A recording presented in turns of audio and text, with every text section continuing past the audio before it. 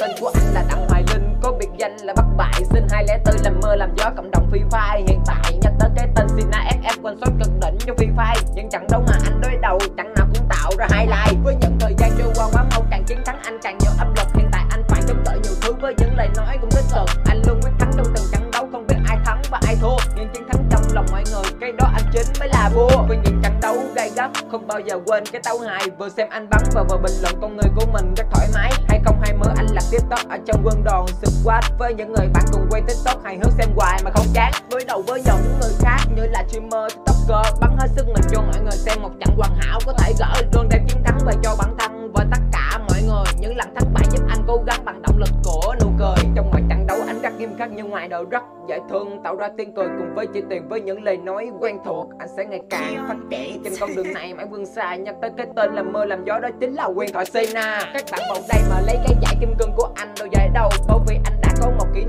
cho mình đã lâu anh là Sina, mọi người cũng biết vẫn là cái tên nó mãi mãi. Câu nói quyền thoại mà anh cắt lên đó chính là lấy hồ cái dài